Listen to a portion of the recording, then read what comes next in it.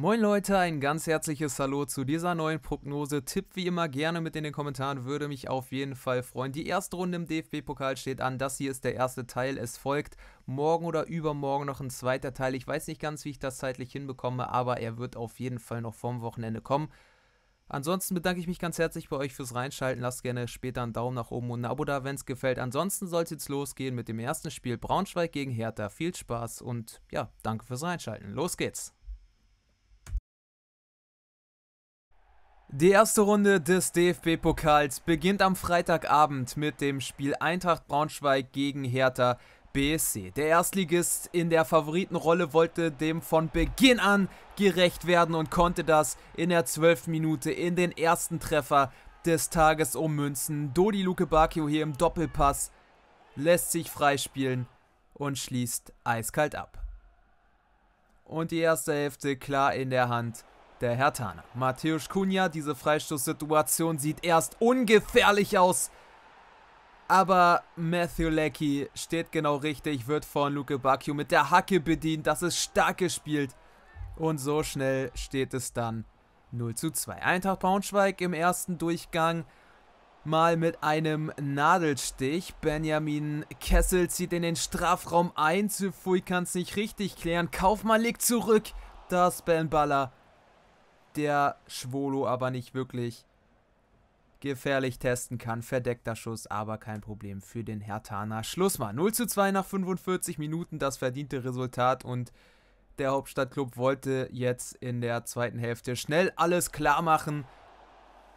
Der dritte Treffer hätte wohl dem Ganzen die Krone aufgesetzt. Lecky per Kopf wird hier von Schulz aber noch am gefährlichen Kopfball gehindert. Und so bleibt es erstmal beim 0 zu 2 die Minimalchance für Eintracht also weiterhin gegeben. Sie probierten dann nach vorne zu spielen, das eröffnete Räume für Hertha BSC und die nutzen sie gut aus. Plattenhart über die linke Seite, geht durch, hat ziemlich viel Platz.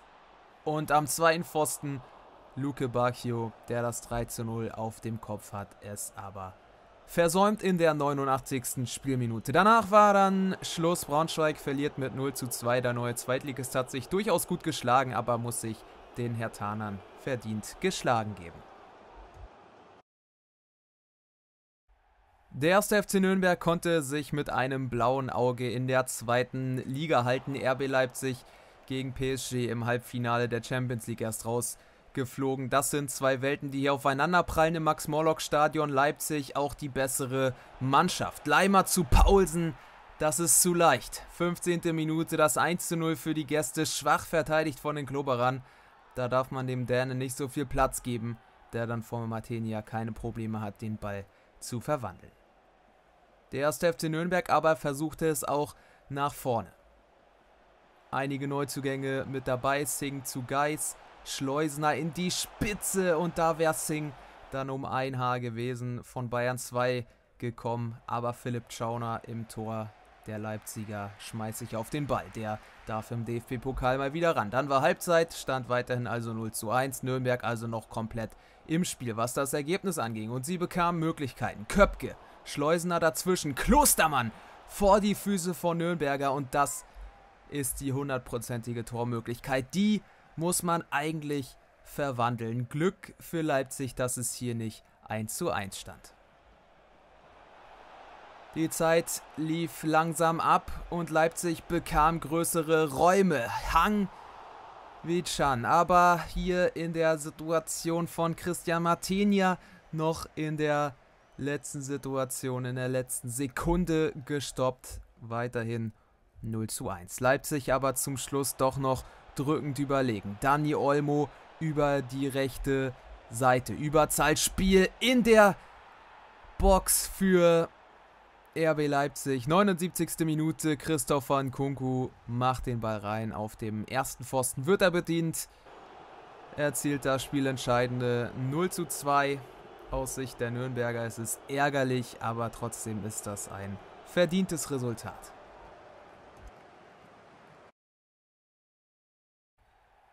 Der TSV 1860 München hat durchaus punktuell nachgerüstet und möchte gegen Eintracht Frankfurt eine kleine Überraschung an die Grünwälder Straße bringen. Und es sah nicht schlecht aus. Die erste Möglichkeit gehörte den Münchner Löwen in Person von Stefan Lex. Kevin Trapp muss eingreifen, ist schnell genug unten. Er hatte beim Spiel gegen Spanien in der deutschen Hütte gestanden. Hier macht er seine Aufgabe wieder gut. Frankfurt brauchte etwas, um ins Spiel zu finden. Dann hatten sie aber einen genialen Spielzug dabei. Ragnar Arche, der Neuzugang heute im Sturm aufgestellt. Macht den Ball rein, verwandelt eiskalt zum 1 zu 0. Das war nicht verdient zu diesem Zeitpunkt, aber es geschah eben. Doch 1860 ließ sich davon nicht einschüchtern und antwortete.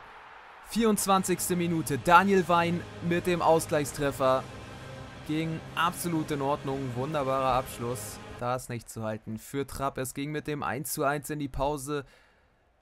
Die Elf rund um Andres Silva war nicht wirklich gut drin in dieser Partie. Und der zweite Durchgang offenbarte ein ähnliches Bild. Sehr viel Freiräume. Dafür Richard Neudecker von Venlo zurückgekommen.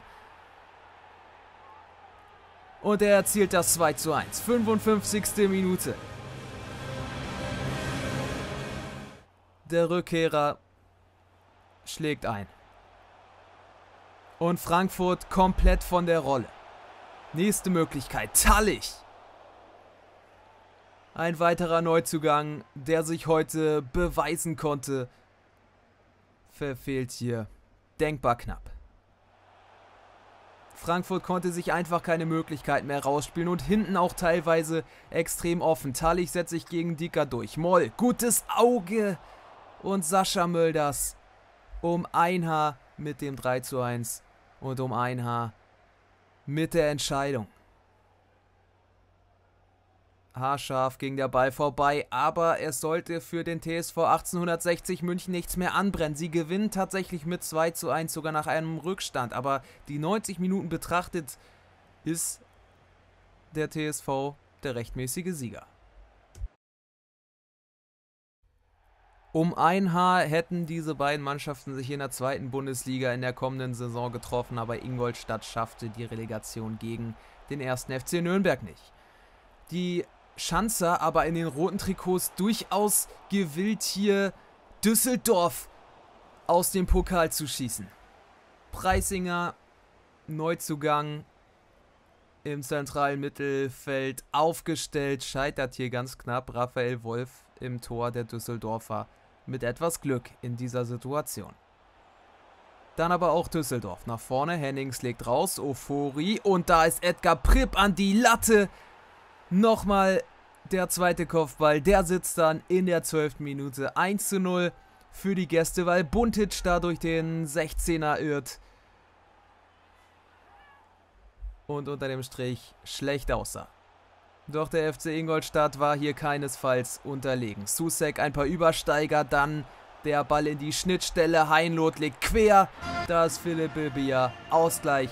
Fünf Minuten vor dem Pausenpfiff. Das war in Ordnung, dieses Ergebnis. Düsseldorf fand zwar mehr Stabilität, aber trotzdem war es ein sehr ausgeglichenes Spiel. Hennings noch ziemlich unzufrieden mit dieser Leistung. Das konnte er auch sein. Die Fortuna nicht gut drauf und man merkte hier keinen Klassenunterschied. Ingolstadt im zweiten Durchgang ähnlich bissig. Susek zu Preisinger. Der hatte noch kein Glück. Diesmal ist es Wolf, der parieren kann.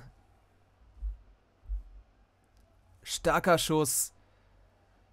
Wenn der ganz flach kommt, führt das möglicherweise zum Treffer. Ansonsten war nicht viel los im zweiten Durchgang. Es ging also in die Verlängerung. 120 Minuten mindestens sollten jetzt herhalten. Also Ingolstadt die noch etwas bessere Mannschaft.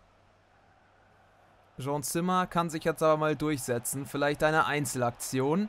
Flanke, Ofori. Aber mehr als das war es auch nicht.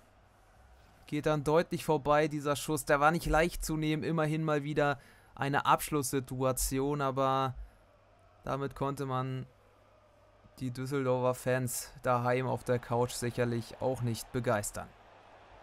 Doch die Verlängerung war jetzt etwas besser geführt. Zimmermann zu Borello und der wird umgehauen von Paulsen. Der ärgert sich, aber das war zu ungestüm und Hennings hat die Chance, hier auf 2 zu 1 zu stellen. Ingolstadt ging die Puste aus, das sah man jetzt und Hennings versetzte ihn den vermeintlichen Todesstoß. 110. Minute, das 2 zu 1 für die Gäste. Buntic entscheidet sich für die andere Ecke und ist dann machtlos. Letzte Aktion nochmal. Wolfram mit der Ecke und Paulsen per Kopf, aber er verzieht. Und das ist schmerzhaft für Ingolstadt. Die ersten 90 Minuten gingen klar an die Schanzer. In der Verlängerung wurde dann Düsseldorf besser und verdient sich dieses 2 zu 1. Trotzdem ist es unter dem Strich ein durchaus glückliches Resultat.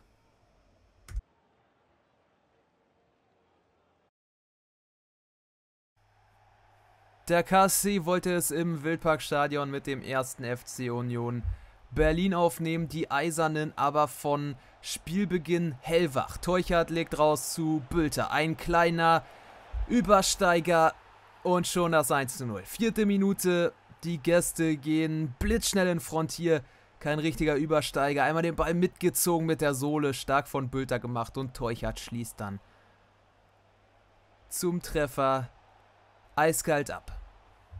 Und Karlsruhe konnte sich hier nicht wirklich akklimatisieren. Sebastian Griesbeck, Prömel hier im Zusammenspiel. Das geht viel zu einfach. Prömel bleibt im Ballbesitz. Gentner Wow, was für ein Strich. Neunte Minute, 2 zu 0. So dass der KSC erstmal wieder auf den Boden der Tatsachen zurückgebracht wurde. Dann aber fanden sie etwas besser rein. Gondorf legt den Ball raus, bekommt ihn hier wieder. Jerome Gondorf.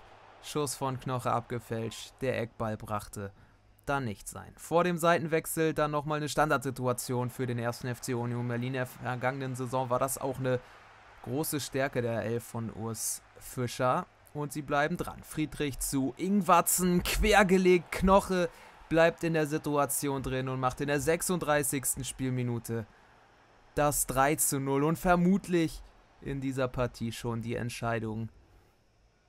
Das tat dem KSC sicherlich sehr weh, aber Sie mussten sich einfach eingestehen, Union war hier mindestens eine Liga besser. Es änderte sich nicht viel. Ingwarz mit der Flanke, Bülter zum 4 zu 0 in der 63. Jetzt war endgültig alles klar. Und es wurde richtig heftig für den Zweitligisten. Da ließen dann die Kräfte nach, auch der Glaube dran wurde nicht größer. Teucher zu Gentner, 90. Minute, der Schlusspunkt in einem doch im Endeffekt sehr einseitigen Spiel. Der erste FC Union Berlin gibt sich keine Blöße, gewinnt mit 5 zu 0 gegen den KSC, zieht in die nächste Runde ein und so kann man dann auch mit breiter Brust in die Bundesliga-Saison starten. Der FC Karl Jena spielt momentan in der Regionalliga Nordost und da hat die Saison schon begonnen. Es war ein holpriger Start der SV Werder Bremen hier, also klar in der Favoritenrolle. In den dunklen Trikots dann durch Chong auch die erste Möglichkeit. Fleming Niemann im Kasten des FC Karl Jena kann sich direkt mal auszeichnen. Der Ball ins kurze Eck muss dann aber auch allerdings pariert werden. Der SV Werder Bremen aber machte es sehr gut. Chong, sehr schöne Übersicht. Johannes Eggestein im 16er nimmt den Ball auch gut mit, zieht ihn einmal zurück. Gruev zu Möwald. Gute Aktion, lässt da seinen Gegenspieler ins Leere laufen. Und nach 20 Minuten stand es 1 zu 0 für die Gäste. Unten links rein, diesmal für niemanden nicht zu halten. Aber dann fand jener plötzlich rein. Eckert. René Eckert kann querlegen, macht selber, scheitert an Capino. Aber im zweiten Versuch macht das dann. 43. Minute, der Ausgleich aus dem Nichts. Aber er brachte zumindest das Remis zum Halbzeitpfiff. Bittenkurt und Co. doch ziemlich bedient. Das hatte man sich etwas anders vorgestellt. Man hätte das 2 zu 0 auch durchaus erzielen können. Zweiter Durchgang, Bremen natürlich spieldominant, aber wo waren die richtigen Akzente? Jetzt vielleicht mal. Selke zu Grujew und da war's. 59. das 2 zu 1. So schnell kann es dann auch gehen. Selke bindet drei Spieler, sodass keiner das Auge für Goef hat. Der geht durch und schließt ab. Doch Jena gab sich noch nicht auf. Jan. Quergelegt. Eckert. 2-2. 73. Minute, das gibt's doch gar nicht. Der FC Karl Zeiss Jena nicht tot zu kriegen in dieser Partie. Er erzielt den Ausgleich. Und jetzt war es für Jena erstmal nur ein Durchhalten bis in die Verlängerung. Bremen kam aber. Guev. Johannes Eggestein. Super Parade von Niemann. Fährt er die rechte Pranke aus und verhindert den Treffer in der 81. Minute. Dann ging es also tatsächlich in die Verlängerung. Der FC Karl Jena noch einmal 30 Minuten extra bekommen. Für den SV Werder Bremen sind das Minuten, die man sich auch gerne gespart hätte. Bremen wurde allerdings nicht nervös, spielte das dann gut runter. Jena mit kleineren Fehlern. Eggestein, Johannes Eggestein, 3-2 in der 97. Minute. Und damit war beim FC Karl Jena der Stecker gezogen. Sie schafften es nicht mehr, sich aufzurappeln und müssen sich dem Bundesligisten mit 2 zu 3 geschlagen geben. Es war ein toller Kampf des FC Karl Zeiss, aber sie waren unter dem Strich die schwächere Mannschaft und scheiden so in der ersten Runde aus dem Wettbewerb aus. Jo, das soll es dann auch wieder mit dieser Prognose gewesen sein. Lasst doch gerne einen Daumen nach oben und ein Abo da, würde mich auf jeden Fall freuen. Die nächste Prognose kommt dann morgen oder übermorgen, ich bin noch nicht ganz sicher. Auf jeden Fall bis dann, danke fürs Reinschalten und adios.